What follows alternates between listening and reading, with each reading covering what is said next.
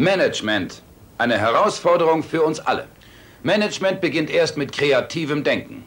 Ich will es einmal so formulieren, wenn Sie und ich es nicht schaffen, den richtigen Weg zu finden, die Konkurrenz schläft nicht. Das sollten Sie nicht vergessen. Wir wollen uns in den nächsten Minuten damit beschäftigen, wie wir generell unsere Aktivitäten in der Arbeit als Manager bei dem, was Sie und ich tun, Tag ein, Tag aus, kreativer umsetzen können. Wir werden uns dazu ein Verfahren ansehen, das wir nur auf unser Anforderungsprofil anpassen müssen und das es uns ermöglicht, viel mehr als unser eigenes kreatives Potenzial, das kreative Potenzial und die Fähigkeiten unserer Mitarbeiter zu fördern. Wer sich unterhalten will über Management, der sollte zuerst den Begriff definieren. Ich habe einige tausend Manager, nicht nur dieses Landes, sondern auf der ganzen Welt gefragt, wie sie den Begriff Management am treffendsten definieren würden. Und was soll ich Ihnen sagen? Ich höre, wenn ich 20 Personen in der Gruppe habe, 20 verschiedene Antworten. Und über die Jahre bin ich zu einer Definition gekommen, die ich Ihnen mitteilen möchte und die wenigstens nach meiner bescheidenen Meinung genau zutrifft. Management ist die Fähigkeit, sich der freiwilligen Kooperation seiner Mitarbeiter zu versichern und vorhandene Aktiva dafür einzusetzen, eine Reihe von angestrebten Zielen zu erreichen, mit anderen Worten, Ihr Projekt umzusetzen. Sehen wir uns das näher an. Sich der freiwilligen Kooperation seiner Mitarbeiter zu versichern. Wieso habe ich freiwillig gesagt? Hand aufs Herz, beantworten Sie mir eine Frage. Läuft in Ihrer Firma wirklich alles ebenso gut, wenn Sie fort sind? Genauso gut, als wären Sie da? Die gleiche Frage habe ich neulich auch einer anderen Gruppe gestellt und ein Teilnehmer hob die Hand und sagte, Bob, es läuft viel besser, wenn ich nicht da bin. Ich antwortete, vielleicht wollen Ihnen Ihre Leute damit was sagen? Sehen Sie, wenn es uns gelingt, unsere Mitarbeiter zur Kooperation zu motivieren, haben wir Mitarbeiter, die das tun, was ihre Aufgabe ist. Aber nicht, weil der Chef gesagt hat, tun Sie das, sondern weil sie das Gefühl haben, dass ihre Mitarbeit an dem ganzen Projekt sehr wichtig ist. Meinen Sie nicht? Das macht unsere Arbeit leichter.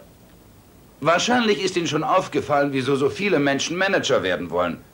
Sie sind scharf auf die neue große Mütze, auf der Manager steht, für jeden gut zu lesen. Ist Ihnen aber auch aufgefallen, wie es mit der Beförderung ins Management trotz der schicken Aufschrift an der Bürotür in der Realität meistens aussieht?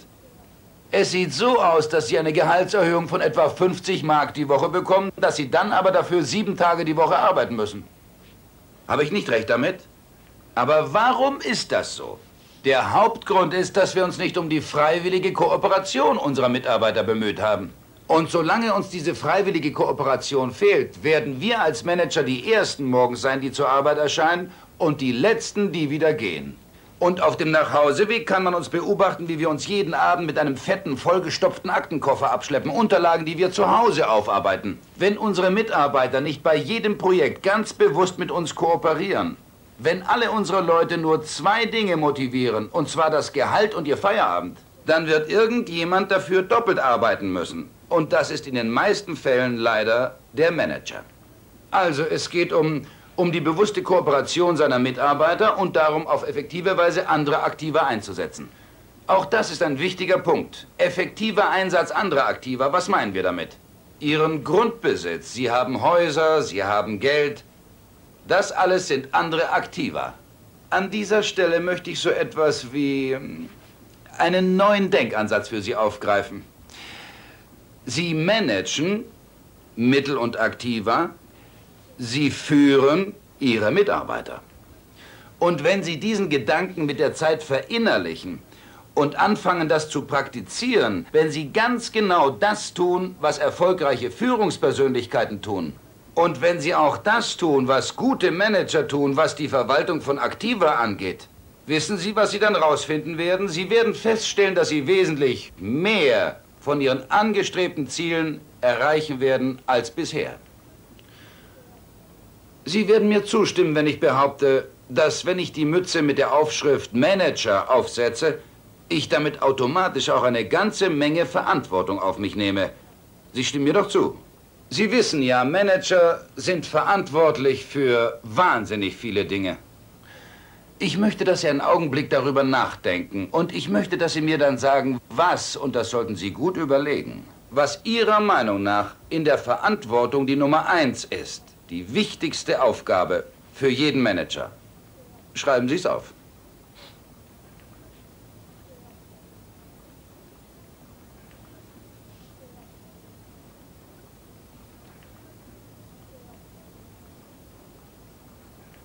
Also, meine Damen und Herren, ich weiß nicht, was Sie aufgeschrieben haben. Ich musste oft lächeln, wenn ich anderen Führungskräften diese Frage gestellt habe. Wie zu Ihnen sagte ich, schreiben Sie auf, was Sie für die wichtigste Aufgabe eines Managers halten. Sehr oft sah ich dann jemanden, der ein oder zwei Worte aufschrieb, das Brett und den Stift wieder zurücklegte und sich entspannt zurücklehnte. Ohne dass ich auf seinen Zettel schaue, weiß ich, was er geschrieben hat. Und wissen Sie auch warum? Ich habe diese Frage schon Tausenden von Managern auf der ganzen Welt gestellt und ich bekomme ständig dieselbe Reaktion. Es stehen da meistens nur zwei Worte. Gewinn machen. Jeder wird sagen, das ist richtig, dafür sind wir verantwortlich. Wir sind in der Firma dafür verantwortlich, Gewinne zu machen. Wie sieht aber die Zukunft für Sie aus, wenn Sie dieser Verantwortung nicht gerecht werden, wenn Sie die Firma nicht mit einem hübschen Gewinn in die Jahresbilanz führen? Die hübsche kleine Erfolgsleiter, die Sie mühsam heraufgestiegen sind, müssen Sie wieder runtersteigen. Nur schneller. Und mit einem Schlag wären Sie wieder da, wo Sie angefangen haben, richtig? Natürlich habe ich von einigen Managern auch andere Antworten erhalten. Ich möchte Ihnen eine nicht vorenthalten. Ich bin im Grunde meines Herzens fest davon überzeugt, dass von all den Dingen, die ein Manager zu tun hat, die wichtigste Aufgabe, die vor allem anderen steht, die wichtigste Aufgabe eines Managers ist, seine Mitarbeiter aufzubauen, damit sie in ihrem Job erfolgreich sind. Denken wir darüber nach. Nehmen wir an, ich bin der Manager. Und ich habe hier eins, zwei, drei, vier, fünf Mitarbeiter in der ersten Reihe. Sie arbeiten alle für mich. In Ordnung? Und nicht ein einziger von ihnen ist bei der Arbeit erfolgreich, klar? Was heißt das für mich? Der erste morgens in der Firma, der letzte, der abends geht. Und ständig einen riesen Aktenkoffer mit mir rumschleppen, denn ich muss den Laden ja in Schwung halten. Es könnte auch anders sein. Nehmen wir an, diese fünf Leute, die für mich arbeiten, die mir unterstellt sind. Diese fünf sind jeder für sich, jeder Einzelne, ein besserer Manager, als ich es bin. Jeder einzelne von Ihnen kann seinen Aufgabenbereich viel besser überblicken als ich. Und darin erzielt er auch noch hervorragende Resultate. Und das Tolle ist, Sie arbeiten alle fünf nur für mich. Und jetzt sagen Sie selbst, habe ich damit nicht den Vogel abgeschossen?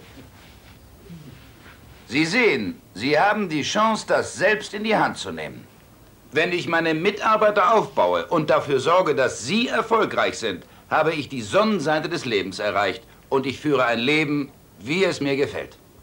Eines der Privilegien, die einem Manager zustehen, im Gegenzug dafür, dass er so viel Verantwortung übernimmt, ein Recht, das, wie ich finde, jedem Manager zustehen sollte, ist, dass er zur Arbeit kommt, wenn er will, erst um halb zehn, zehn, denn in der Firma läuft alles. Denn wenn mein Team ein erfolgreiches Team ist, brauche ich mich nicht drum zu kümmern, habe ich recht?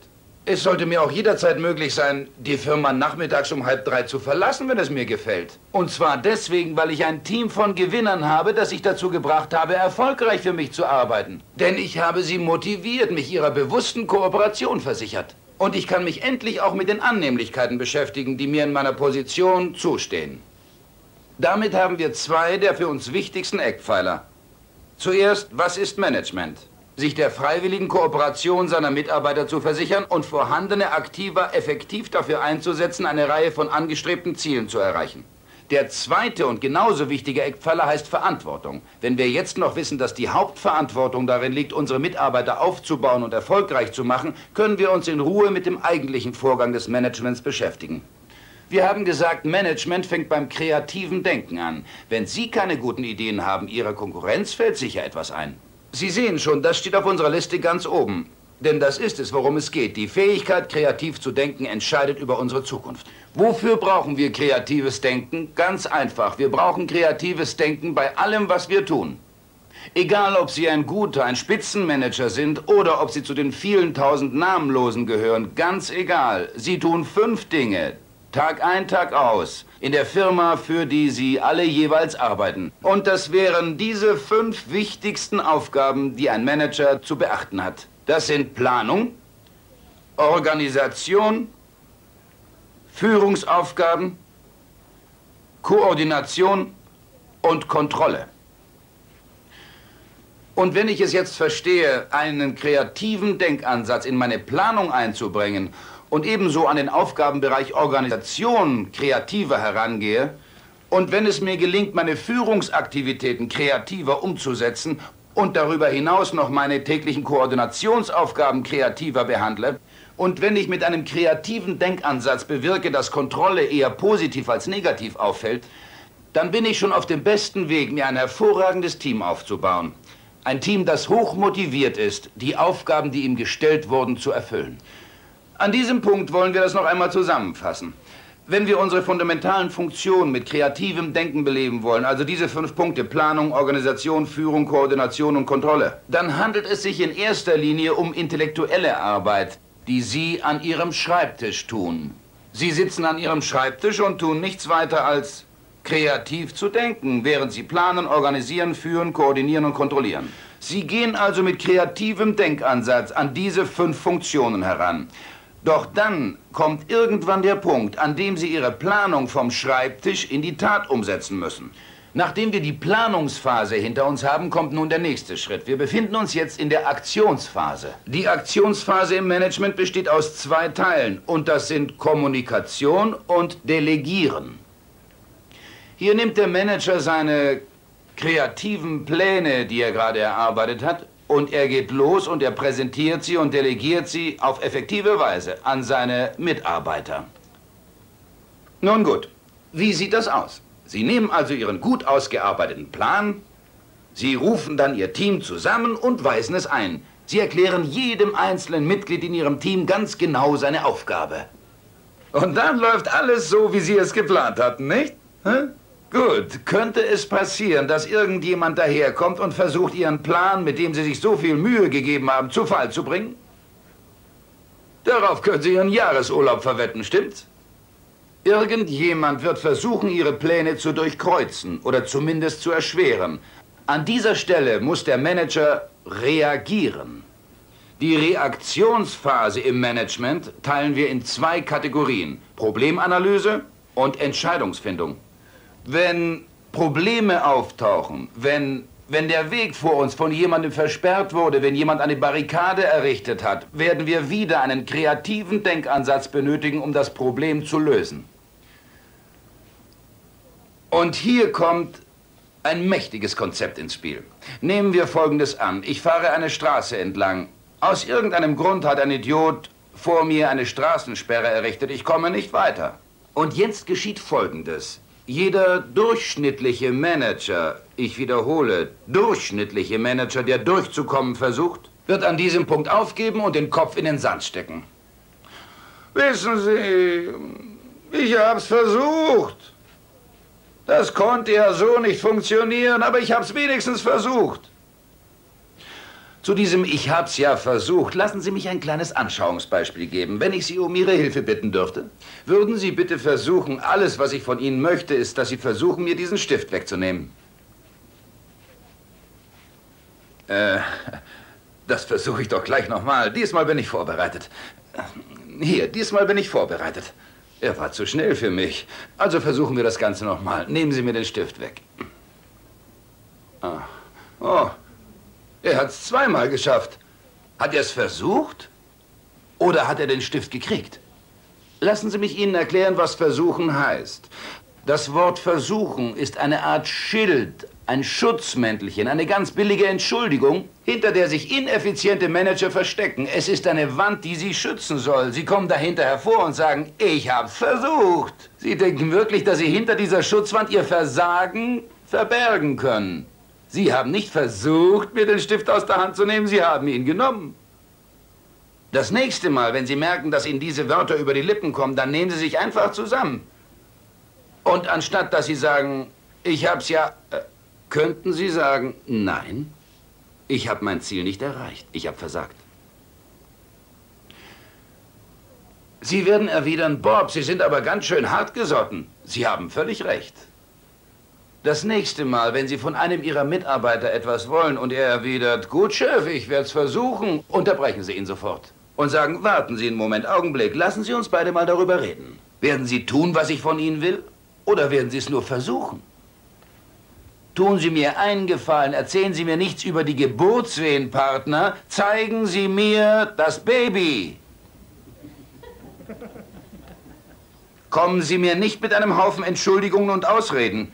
Ich will nur Resultate sehen. Ich hab's doch versucht. Nein, Sie versagen. Oder Sie erreichen das Ziel. Entweder oder. Dazwischen gibt es nichts.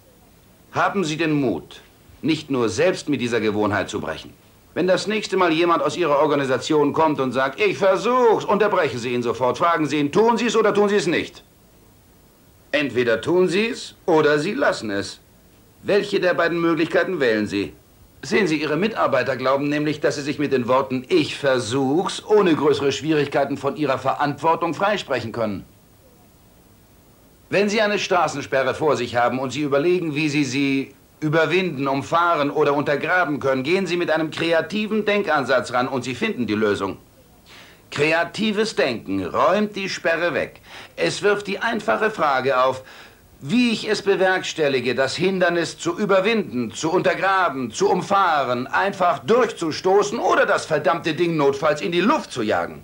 Und wissen Sie was? Sie hatten noch niemals ein Problem.